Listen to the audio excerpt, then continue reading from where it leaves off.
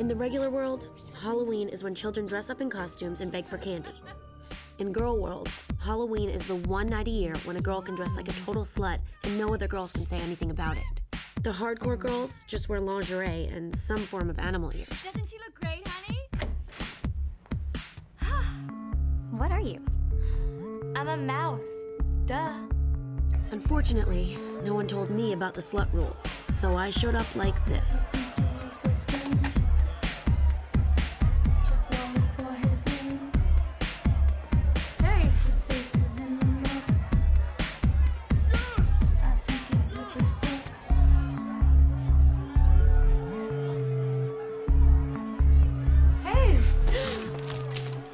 Why are you dressed so scary? It's Halloween. Have you seen Jason? You know who's looking fine tonight? Seth Mosakowski. Okay, you did not just say that. What? He's a good kisser. He's your cousin.